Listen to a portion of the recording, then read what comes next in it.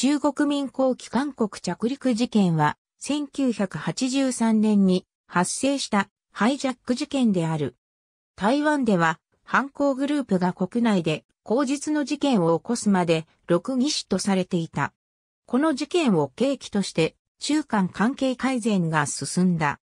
1983年5月5日、中華人民共和国遼寧省新陽にある新陽東道空港から上海市の上海公共国際空港に向かう中国民航所属の旅客機トライデント TR-2E が離陸直後に6名の武装グループにハイジャックされた。ハイジャック時に操縦乗員5人のうち通信士と広報士が銃撃され負傷した。機体は両党半島上空から朝鮮民主主義人民共和国上空を侵犯し、朝鮮半島の軍事境界線を通過し、大韓民国の領空を侵犯した。ここで在韓米軍機がスクランブル発進してきたが、中国民航機は機体を左右に振らして、標準の態度を示した。その後戦闘機の誘導で、カンボンド春戦市にある在韓アメリカ軍基地に緊急着陸した。犯人は、遼寧省の公務員であった、卓長仁氏と、京広志軍ら男性5人と、その恋人1人の6人であった。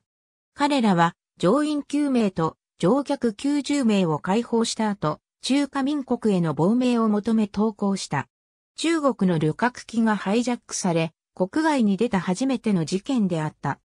ハイジャック防止条約では、機体と乗客は速やかに返還し、ハイジャック犯人は当事国のいずれかが刑事裁判で裁くとしていた。しかし、中国と韓国はハイジャック防止条約に締結していたが、国交がなかった。その上、双方とも互いを国家として承認していなかった。これは中国は朝鮮半島唯一の合法政府として北朝鮮を、韓国は中国唯一の合法政府として中華民国を承認していたためであった。中国から早速特別機でソウルの金浦空港に事後処理のため中国民謡航空総局局長を団長とする交渉団が派遣された。この場で初の直接交渉を行っている。交渉では、それまで中共、南朝鮮と呼び合っていたが、この交渉で初めて中華人民共和国、大韓民国と呼ぶようになった。これは、韓国側が1986年アジア競技大会、1988年のソウルオリンピックを成功させるため、ゼガヒでも中国の参加を取り付けたいとの思惑もあった。なお、ハイジャックされた機体であるが、着陸した滑走路から燃料を積んだ上での中国への飛行は不可能であったため、韓国人パイロットの手で金浦空港へ改装された。また乗客は、この間、バス観光旅行に招待されるなどの接待を受けた。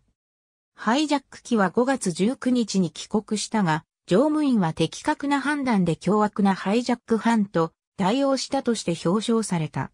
中国側から犯行グループの引き渡し要求が出されたが、韓国側は刑事被告人として裁いた。ソウル地方裁判所は翌年懲役2年から6年の実刑判決を言い渡したが、これに対しては中国側から刑が軽すぎるとの批判を受けた。その上1984年8月13日に韓国は中華民国への亡命を認めた。この対応に対して中国側からは特に抗議はなかったが、これは事件を契機として中間の経済的交流が活性化した上、花間関係の悪化する兆しとなったことから、その計算があったと言える。犯人グループは反共義士として台湾で歓迎され、台北市で中国大陸裁縫救済総会主催の歓迎式に招かれた。また政府から171万台湾元を受け取って新生活をスタートした。しかし宅長仁氏と京広志軍は投資に失敗した額の債務を負った。そのため、一攫千金を狙い1991年8月16日に台北市国対委員の副委員長の子供を誘拐し、殺害、身代金を要求したとして逮捕起訴された。2000年9月22日に、卓長仁氏と京広志軍は、死刑が確定した。その後台湾では異例なまでの執行モラトリアムが繰り返されたが、2001年8月10日22時に死刑が執行された。卓長人氏は53歳、今日広志軍は41歳であった。他の者も経営者になった者、低所得者層にあえいでいるもの、と数奇な運命をたどっている。ありがとうございます。